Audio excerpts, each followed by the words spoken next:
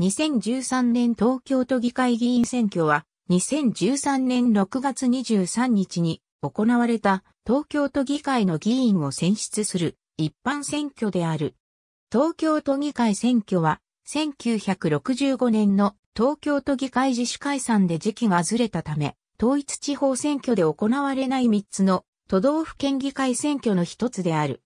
前回選挙で惨敗し、40年ぶりに都議会第一党の座から転落した自由民主党は第一党奪還を目標にする一方、前回選挙で第一党に躍進した民主党は守りに徹する戦いとなった。また、日本維新の会やみんなの党など諸位、第三局も都議会における足場を築くことができるかどうかも注目されていた。7月には任期満了による第23回参議院議員通常選挙も予定されており、その結果をも占う前哨戦としても注目された。定数127に対し、前回選挙の221人を30に上回る253人が立候補した。告示は2013年6月14日。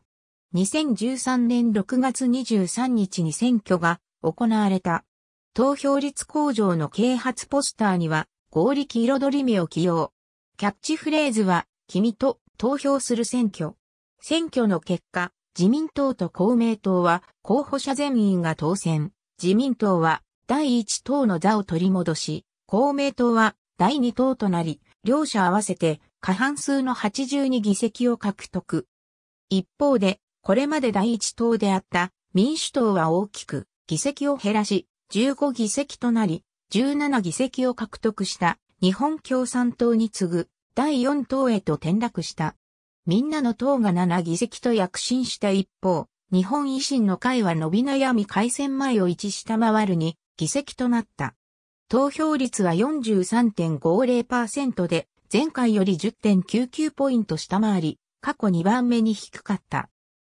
理由として、7月の参議院選挙に向けて争点が国政に傾いたため、関心が低かったことが挙げられる。自民党は立候補した59人が全員当選を果たし、前回失った第一党の座を4年ぶりに奪い返した。また、公明党も立候補した23人が全員当選を果たし、両党を合わせて過半数を上回った。また、公明党は6回連続の全員当選となった。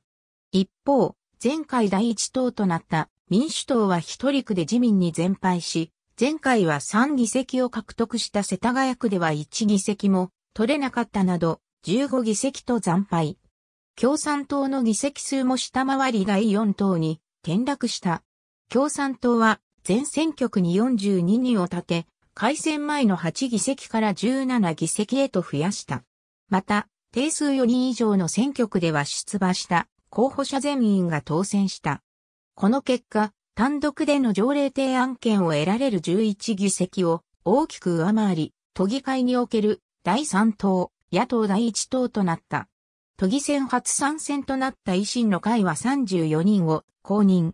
都内で抜群の知名度を誇る前都知事で共同代表の石原慎太郎が選挙区を回ったが共同代表の橋本徹と石原との歴史観の違いや、橋本の慰安婦、風俗をめぐる発言等で苦戦しに議席に止まった。一方、20人を公認したみんなの党は、改選前の議席を大きく上回り、7議席を確保した。自民党、公明党、共産党、民主党、みんなの党、生活者ネット維新の会無所属。ありがとうございます。